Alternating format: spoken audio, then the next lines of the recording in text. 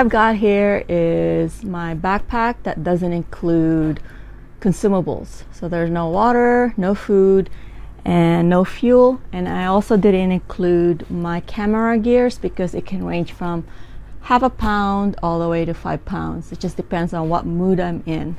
So the backpack weigh is 13.3 pounds, again without the consumables and no camera gears. And I thought it would be more around 15 pounds. So I think I'm I'm doing all right. so let's start here on the shoulder strap. I have two one liter uh, water bottle for easy accessibility when I'm on the trail. And on my hip belt, I have two pouches. On the left pouch, I have a keychain that contains a, a Swiss Army knife and a small one, and a whistle with a compass, thermometer, and a magnifying glass. I also carry earplugs. And on the right side of this pouch, I have uh, floss for my teeth. I like to maintain a good hygiene even when I'm in the wilderness. And I have two pouches on each of the um, each one of the shoulder strap. This one is empty, and the left side I have two chamois to clean my sunglasses and also the camera. The bottom I have Six Moons Design Lunar Solo LE tent and with the Tyvek footprint I have the spot GPS device. I carry this um, all the time just to give my family and friends peace of mind and they can see me on the trail live. And I can also send messages on this. So on the main front mesh pouch here, I like to carry at least 20 foot of cord. It's very useful. So every time I'm out, I ended up using it.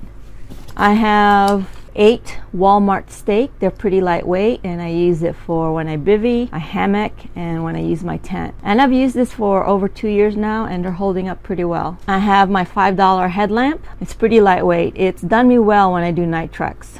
and in here, I have my comb. The last few times I've been out, I forgot my comb and my hair got really tangled up. Now I leave one all the time so that um, I'll have a tangle free hair. So this is about the most girly I will be in the wilderness is having my comb. I carry a compass, also a map for wherever I'm going to be at. I carry a bandana so the, band, the bandana did really well for me when I was in the Sierra on my last trek. It cooled me off. It was about 90 degrees on the trail, so it was hot, especially in the middle of the afternoon. I was fortunate enough the location where I was, there's plenty of water source, and I would dip this in the water in the creeks and uh, put it on my head and put my hat on.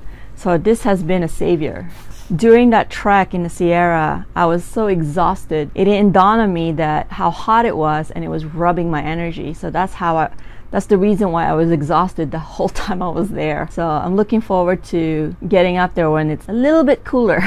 In here I have an 8 inch wooden spoon. It's made out of olive tree.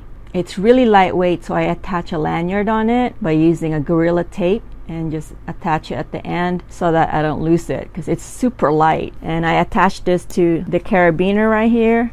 I know that it's always right there. In here is my gravity filter kit using the Mini Sawyer.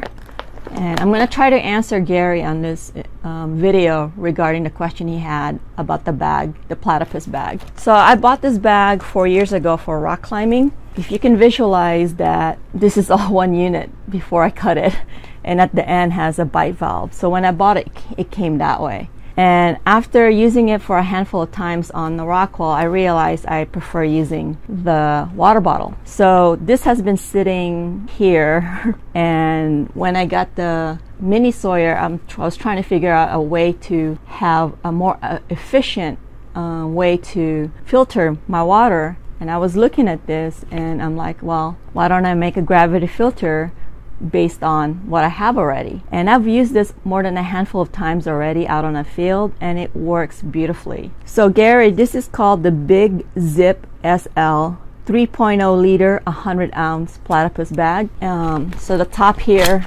is a Ziploc type of contraption up top.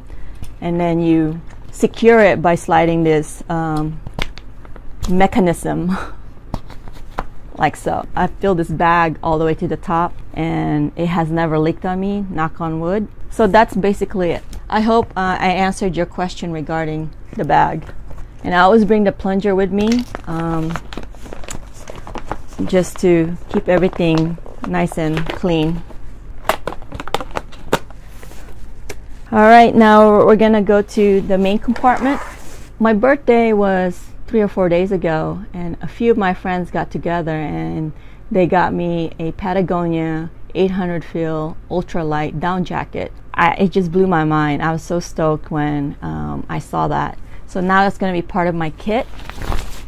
And this is the Patagonia um, ultralight down jacket. And it's pretty light. so they chose the really bright color so they wanted to make sure they could see me when I'm in the trail. so that worked out well. I'm so grateful for my friends. I also have, I've been using this for the past four years. Um, this Costco vest down jacket, and I got this for 19 bucks. And on days where it's not that hot and it's not that cold and I'm moving, um, this is what I like to wear because uh, it's enough to keep me warm, but not so warm when I'm on a trail. So it works perfect, and I can layer um, both jackets if it gets too cold.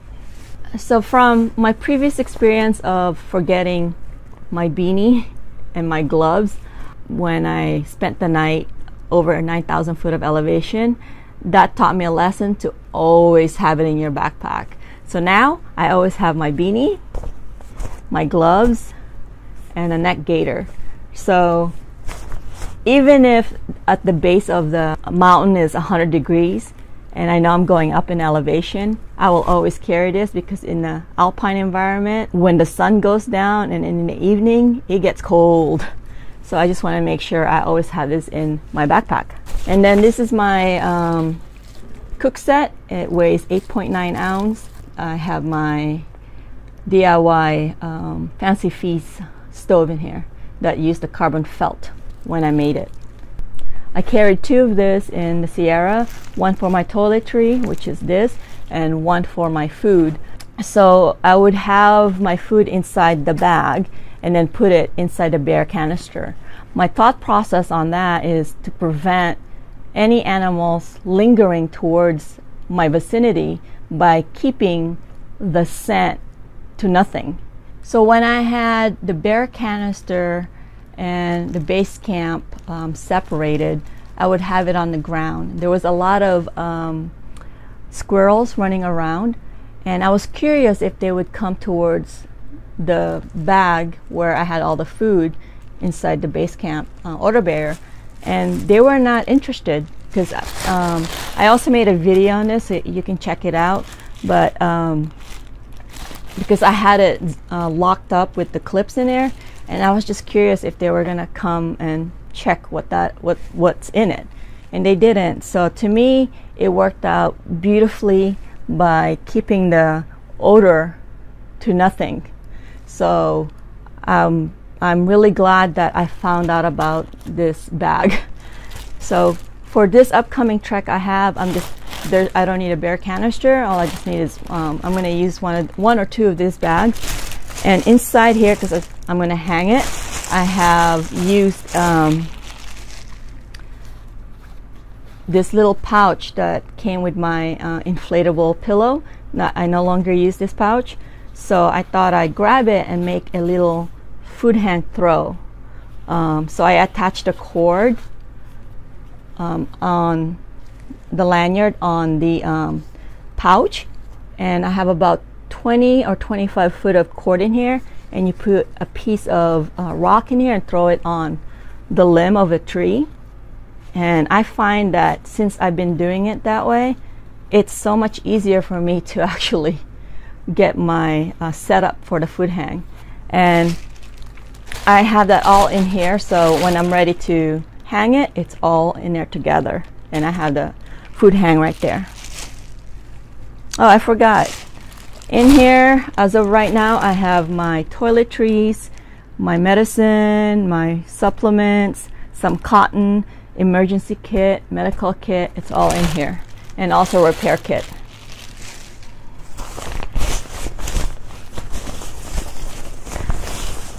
And right here is um, the Big Agnes Q-Core insulated mat. Um, I have everything consolidated in here with two pillows and also the Thermarest Neo Air. It's all rolled in together. Um, the reason why I have two pillows, they're inflatable pillows, one for my head, and I because I'm a side sleeper, I use it for in between my knees to keep my hips from hurting. For the last four months, I've been saving to to get a custom made quilt. I would have brought it for the Sierra trek. It didn't come to my place until three or four days later after the trek. This um, company that I got it from, it's called Enlightened Equipment, and the model that I got is called Revelation, and it's basically a blanket, and you have an option to enclose it so that it, on nights that are super cold, you can create almost like a mummy bag in it. The reason why I got it custom made because I'm only 5'2. I don't need a regular six foot tall or length of um, quilt.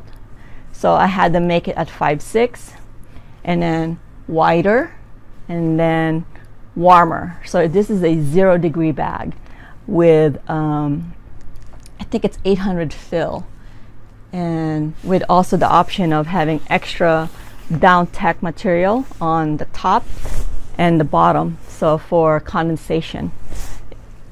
The bottom and the top of the quilt has a bungee cord where you can cinch it. And then at the bottom section of the quilt, there's about a two foot of zipper and you can zip that. And then the rest, it, they're just clips. And there's a section here, there's two clips that that's where you will attach that extra longer um, extension of um, strap, elastic strap, that you can strap it all the way around the sleeping mat so that when you're moving around, the quilt stays with you because it's, it's anchored towards the mat. So I thought that was pretty great idea, whoever designed it. and up top, there's also a bungee cord so you can snuggle yourself in. So this is five six to me, and it's still plenty of enough length because again, I'm only five two. So um, I haven't tried it out on the field yet. I'm, I'm looking forward to trying it out. And another reason why I got this wide is because I want to be able to use it um, in my hammock or under quilt. And since my friend gave me uh, a, another sleeping bag and that's the Mountain Equipment 30 degree matrix 2 I can use that for up top. So I will play with that um, sometime this year. But for now this is my my gear and I think that's it. Oh before I forget I also use the 99 cents um, sunshade as a back support on my backpack. There's a section on my backpack where you can put um, hydration bladder in there, and there's a sleeve, and that's where I put the 99 cent sunshade as an extra back support. So all this, 13.3 pounds. I have come a long way on going into a lighter side of the backpacking. I enjoy going light but I also enjoy being comfortable. When it comes down to having comfort and still going um, light, I prefer to be lighter and be comfortable But if I'm gonna go lighter and lighter and not be comfortable, to me that's not worth it. That's that's just my preference. For me, the journey to the lighter side of backpacking has been great because I move more efficiently on the trail. Um, having less load on my back while I'm moving, my body's enjoying that. And I appreciate you guys watching. I appreciate you taking the time out of your day, watching the videos and commenting. And until the next video, I hope to see you on the trail. Bye for now.